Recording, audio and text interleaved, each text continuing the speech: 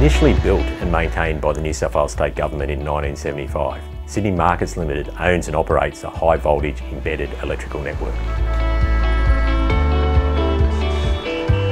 This network allows Sydney Markets to purchase continuous and reliable high voltage electricity through three substations, converting this energy into low voltage electricity for consumption around the site to power all the common area lighting and for use by our stakeholders. Much like any publicly managed infrastructure, this network requires an extensive and ongoing maintenance program, which is funded by Sydney Markets Limited. This is to ensure the system stays reliable and compliant to regulations.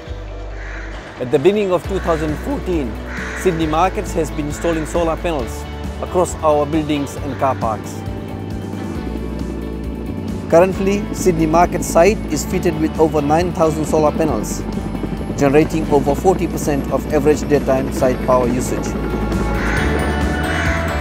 I'm pleased to announce the planned installation of additional solar panels across several of our warehouses which will generate over 90% of our daytime energy demands without exporting to the external grid or installing batteries. This planned initiative will be completed in two phases across 12 warehouses on site, with expected completion by 2032. This will complement Sydney Market's focus to increase the efficiency and effectiveness of the site.